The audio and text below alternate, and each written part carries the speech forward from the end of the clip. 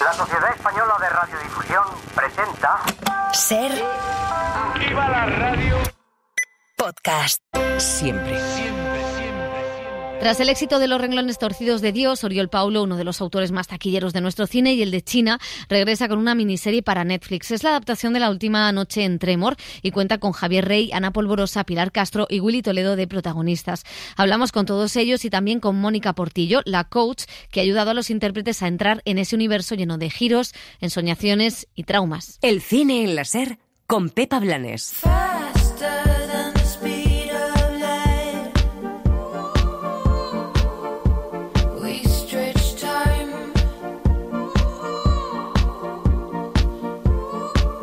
Las series.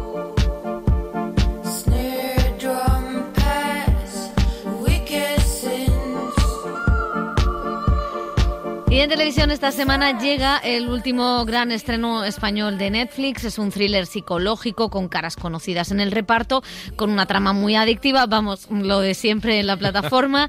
Dani Garran, ¿qué tal? Muy, Bueno, muy Netflix, ¿verdad? Es que Muy Netflix. Juntas todo eso y te muy tiene que Netflix salir a a la- la, en, las, plataforma. cine- en las series españolas, porque Sí, luego sí, las hay otra las series apuesta. españolas, sí, que no queremos decir que sean malas. No, no, no, pero que, Pero es verdad que que la son los fórmula, que la fórmula funciona, a que veces es las fantástica, a veces no, pero sí. bueno. Bueno, vamos ya con el título, es La última noche en Tremor, que es una serie que, como decíamos, pues reúne todos los requisitos para, para el algoritmo. Sí, es eh, la última miniserie de Oriol Paulo, uno de los directores que mejor conjugan el thriller y el misterio en la ficción, como ya demostró con las series también de Netflix, El silencio, El inocente o Los renglones torcidos de Dios, la adaptación para el cine de la novela de Torcuato Luca de Tena. La última noche en Tremor también procede de una novela, de la primera que escribió Miquel Santiago, uno de los autores más vendidos de la literatura española. En este thriller psicológico, un músico y compositor en crisis se aísla en un pueblo costero para terminar una obra. Después de una tormenta, comienza a tener espeluznantes visiones en las que aparecen su novia y sus misteriosos vecinos. Y todo comienza con una extraña lluvia de peces. Mira este titular, lluvia de peces. Este extraño evento meteorológico se produce cuando los peces son arrastrados por el viento y la lluvia desde su hábitat natural. Lo había oído. Yo no lo había oído nunca. Nunca. ¿Y si lo hubiera imaginado? ¿De dónde lo saqué? ¿Cómo puedo imaginar algo tan real y concreto si ni siquiera sé si existe? Puede que no recordaras que lo sabías. Sería lo más lógico, ¿no? Entre esas caras conocidas del elenco, Javier Rey es el protagonista de la serie, acompañado de Ana Polvorosa. Ambos personajes que llevan años arrastrando traumas se ven envueltos pues, en esta confusa trama, en la que también tienen mucho que ver la pareja formada por Willy Toledo y Pilar Castro. La música, un elemento clave en la serie, está compuesta por Fernando Velázquez, ganador del Goya por su trabajo en Un monstruo viene a verme. Bueno, eh, Dani Garran ha hablado con el director y también con los protas de la serie. Dani, cuéntanos. Pues eh, nos decía Oriol Paulo que desde que leyó la novela en 2014, cuando se publicó, se interesó por adaptarla y cuando pudo hacerse con los derechos ya se lanzó a ello. Miquel Santiago alabó su trabajo en los renglones torcidos de Dios, nos contó que le escribió por, por Instagram para decírselo y ahí fue donde el director aprovechó ya para entrar en contacto con él. El juego que te propone Miquel, pocas veces me ha pasado de estar leyendo una novela y sentirme tan desnudo a nivel de cronología lineal, de, que me ponía muy nervioso el no saber si lo que estaba leyendo estaba realmente pasando, no estaba pasando y la manera que tenía de contarlo, con esa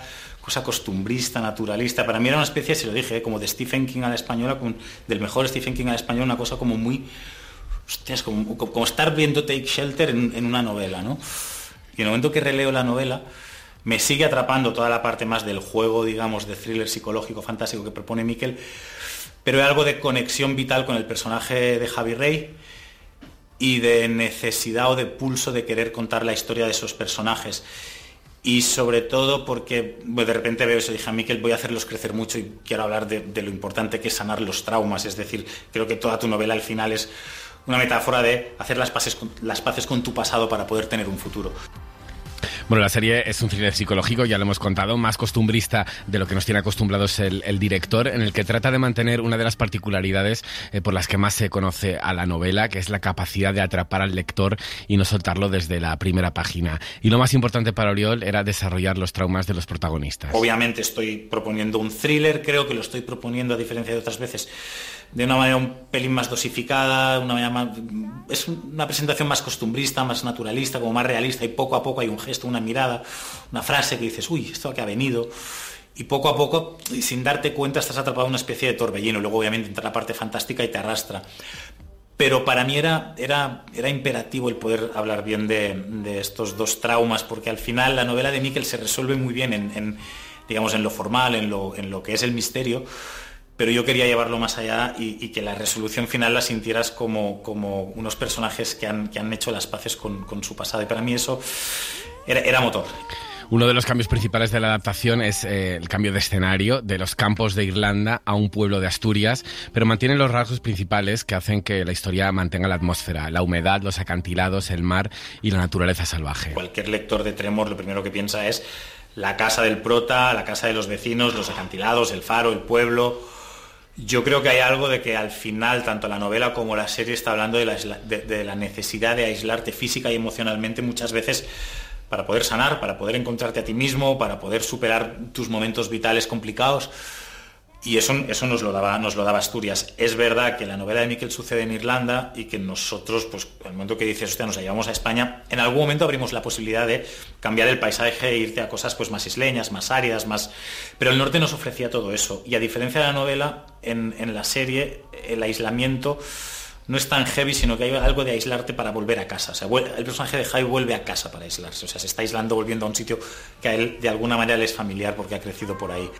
Bueno, pues decía el director que ya tenía los actores en la cabeza desde que leyó la novela, que todos le dijeron que sí. Esto es importante cuando se puso en contacto con ellos. Sí, además destacaba Javier Rey la forma de trabajar del director, ese mundo tan rico que aportaba a cada uno de sus proyectos y se puso a manos de él desde el primer momento en el que nos decía eh, ha sido el personaje más exigente que ha hecho nunca. Bueno, para mí es de los rodajes más intensos de mi vida, si no el que más, te diré. Eh, um, y creo que voy a tener pocos así, de la magnitud que tiene, de cómo lo hemos hecho. Hemos vivido por y para nuestros personajes. Eh, las personas que más tiempo hemos estado en el 2023 hemos sido nosotros con el equipo. Creo que eso también ha sumado un poco a que ha, costado de alguna manera el separarnos y el volver a, a la vida con las sensaciones de lo que generamos de los personajes, porque sí que creo que a todos nos pasa,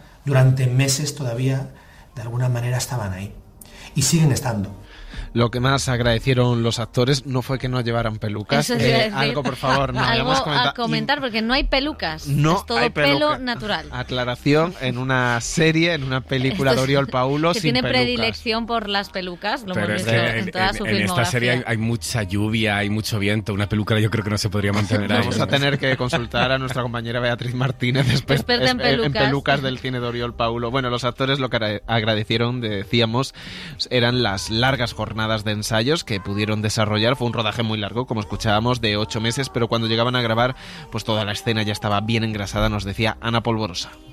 Pues con muchísimos ensayos, la verdad, y con un análisis eh, de los personajes como súper exhaustivo. Hemos contado con la... Y en este caso, pues bueno, hicimos muchos ejercicios de muchas cosas, eh, eh, tuvimos también ocasión de hablar acerca de otras, o sea, como plantearnos pues todo tipo de situaciones, no sé, para ya adentrarte e iniciar un poco el rodaje desde un lugar ya en, en el momento en el que todo esté un poquito ya, que se haya movido, ¿no? Que tú estés más, más caliente. Y lo que más me llamó la atención fue que tanto los actores como Oriol coincidieron en una cosa, más bien en una persona, sin la cual no habría sido posible sacar adelante el trabajo en esta serie. Veníamos muy ensayados de casa, que hemos preparado la serie muchísimo antes de empezar a rodar. Yo creo que es la primera vez que he conseguido hacer el viaje entero en, en- en ensayos. La primera vez también que incorporo a una coach, eh, Mónica Portillo, desde el minuto uno para que podamos diseñar el viaje. Que, los personajes han viajado enteros, han hecho toda la, serie antes de rodarla. Hemos contado con la, con, la ayuda también de, de Mónica Portillo, que fue nuestra coach durante el rodaje. Yo ya había trabajado con ella previamente y Mónica es una maravilla porque bueno, nos facilitó muchísimo, nos ayudó a comprender muchísimas dudas. Era difícil hacerlo y verlo y mantenerlo, pero bueno, tuvimos un equipo increíble, tuvimos una coach que nos ayudó muchísimo. Mónica Portillo. Mónica Portillo. Control del agua, que es la hostia. Yo personalmente sin ella no hubiera podido sacar la serie. Ninguno. Bueno, Mónica Portillo, no queríamos quedarnos sin, sin hablar ¿Quién con es ella. Mónica ¿Quién es Portillo, por Mónica favor? Portillo? Con voz de, Pues tu- es de True Crime. una, una coach de, de actores en una serie muy exigente, emocionalmente, interpretativamente como esta, así que hemos hablado con ella.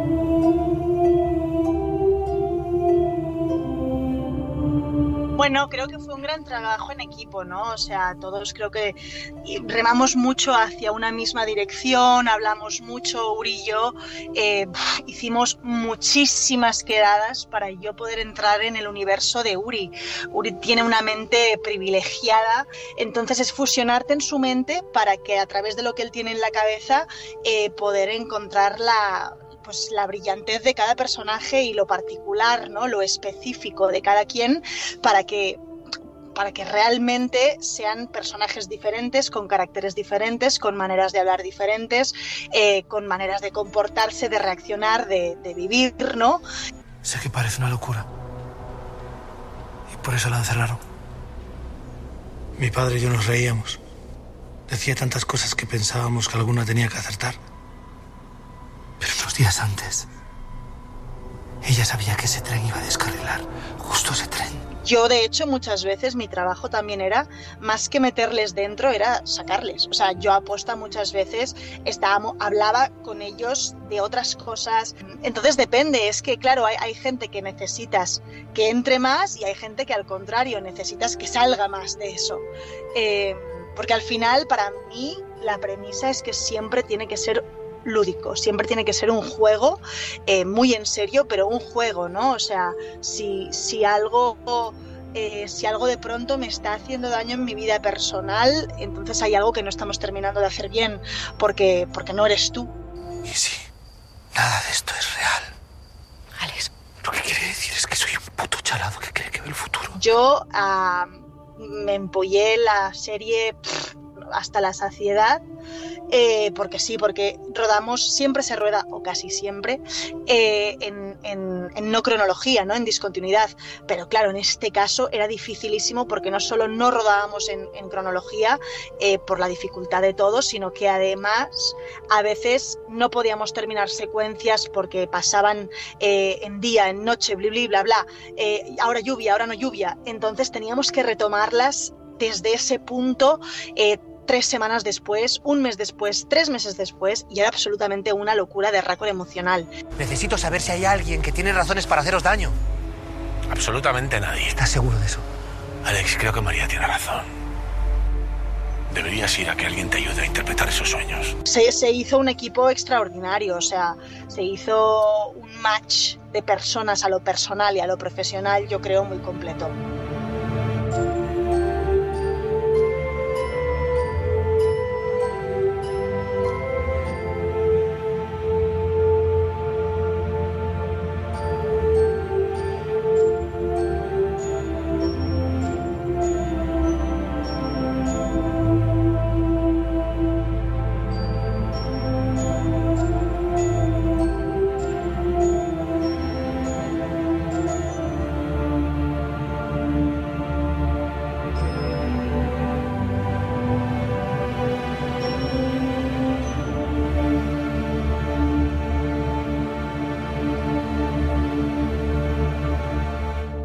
Suscríbete al Cine en la Ser. Escúchanos en directo en la Ser los sábados a las 7 y media de la mañana y los domingos a las 3 de la madrugada. Cadena Ser. La radio.